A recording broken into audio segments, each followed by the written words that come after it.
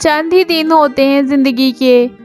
फिर वही गुसल, कफन दफन और फिर मरहूम कहलाएँगे। इसलिए फिर ओन ना बने, ना दूसरों को बनने पर मजबूर करें।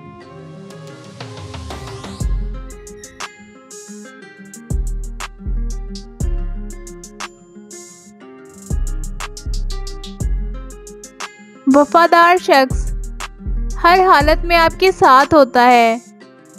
हालात के मुताबिक नहीं।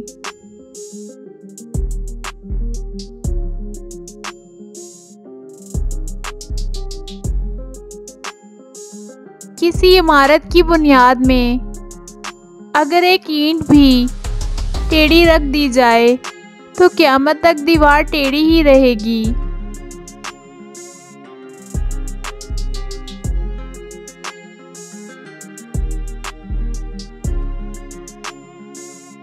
परिंदा अपने पाँव और इंसान अपने ज़ुबान की वजह से जाल में फंसता है।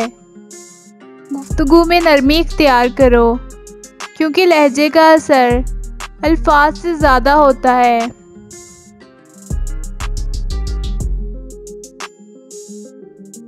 अगर आप गम को अल्लाह का हुक्म समझकर खामोश हो गए तो आपकी ज़िंदगी महफूज हो गई।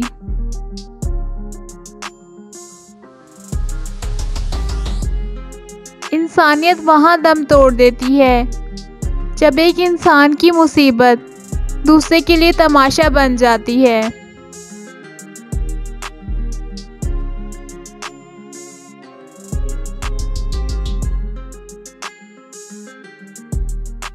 बेटे का पता शादी के बाद चलता है कि वो वालदेन का कितना फर्मा बरदार है। बेटी का पता जवानी में चलता है।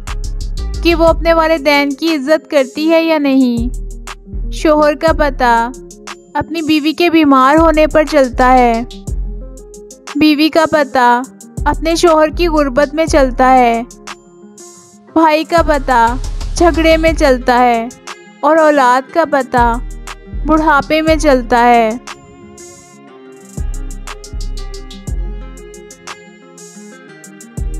अपनी खुशी के लिए किसी दूसरे की खुशी खाक में मत मिलाओ। तुम्हारी वो खुशी बेकार है, जिसके पीछे किसी के आँसू हों।